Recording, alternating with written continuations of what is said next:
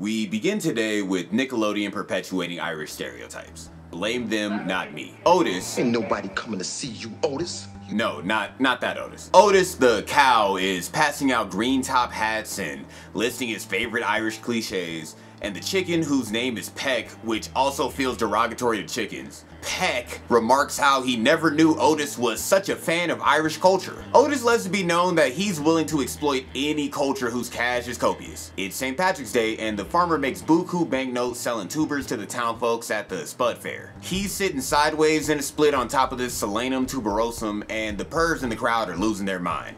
I'm not sure if he's selling potatoes or ass at this point. Otis is confident that everyone is gonna go crazy after they get a whiff of his artificial odor enhancers. Otis's last name just might be Monsanto. He calls it Eau which translates to water of potato. Thank God I took that French class in ninth grade. He even has a nice propaganda commercial filmed. Everyone is pretty stoked because scamming always prospers. At this point, nothing could go wrong. Right at that moment, this uh cat mongoose wallaroo this creature of ill repute runs in screaming the potato crop is gone! They're all worried about their impending broke acidness if they can't sell that crop, and Peck is worried that the farmer is just gonna sell their ass to some type of thrift store for animals called Animals for Less. I can only imagine that that is the old glue and beak and wallaroo factory, if you know what I'm saying. Pig, which has to be offensive to pigs, like bruh can't even get a name. Let's call him Phil. Phil proposes that the crop disappearing could only mean one thing,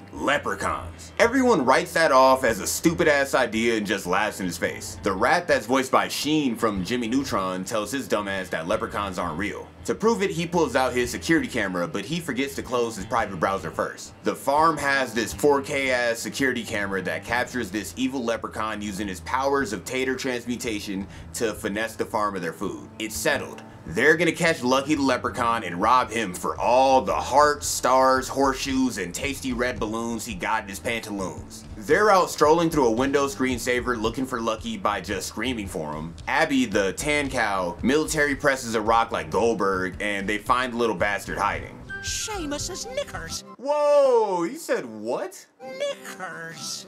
I'm sorry, never mind. I clearly wasn't paying attention. As they say, irregardless, allow me to address the elephant in the room. Or should I say the big burly ass cow in the room. Is Otis a woman? Why does he have udders and look exactly like a dairy cow? I'm going to just subtly fade away from that subject and back to talking about these strong back-legged ass animals attempting to jump this leprechaun. Lucky ain't feeling that, so he threatens them with a whimsical magical wrath. Nobody even knew leprechauns got down like that, but they would've if they had attended Dr. Phillips' lecture on leprechauns.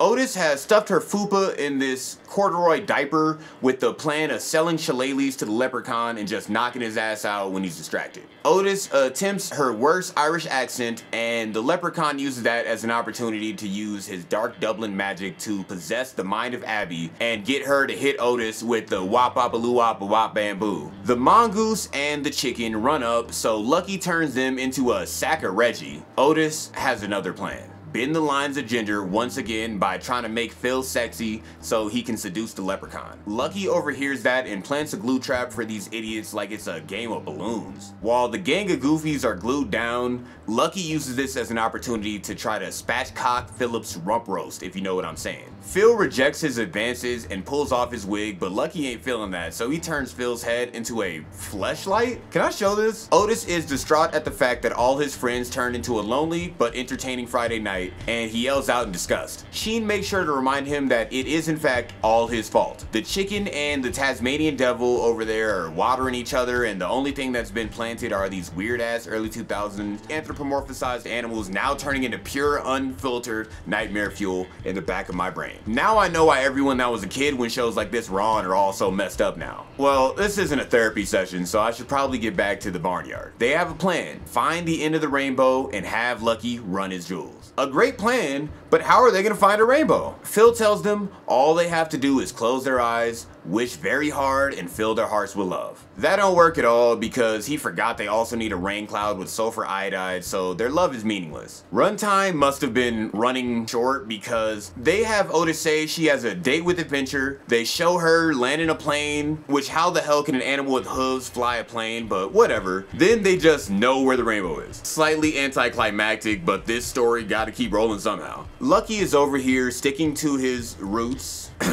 root vegetables that is. He notices a rainbow over yonder and uses his powers of pure evil to propel him towards the perpetrators, ready to pop their psyche into a puddle. The notable female, Otis, has stolen Lucky's cauldron of gold, so Lucky attempts to put a hole in his chest like A-Train. Luckily for Otis, she is protected by a force field conjured from equally evil, but just as nonsensical Nickelodeon magic. This is all explained thoroughly by Professor Phil here. Lucky is turning into Pookie over this gold and he's willing to do anything. I can't even be mad at him because this is some serious dough in gold. I'm no mathematician, but according to my calculations, that cauldron is large. Therefore, it would have to be worth a lot. If I'm Otis, I wouldn't even offer that back, but I think he might be the only one with a force field, so Lucky would probably put his friends on a t-shirt if he didn't. Lucky uses his magic to turn everything back to normal, and it looks like everything worked out nicely. And what did we learn today? Leprechauns are bitter, spiteful little homunculi that are best left alone.